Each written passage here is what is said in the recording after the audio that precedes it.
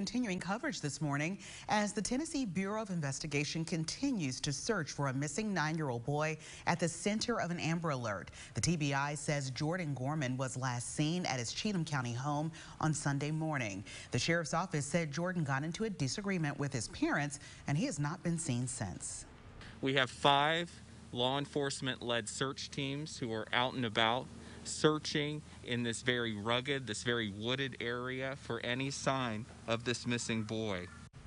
Here's another look at Jordan Gorman. He is described as being about four feet tall and 75 pounds.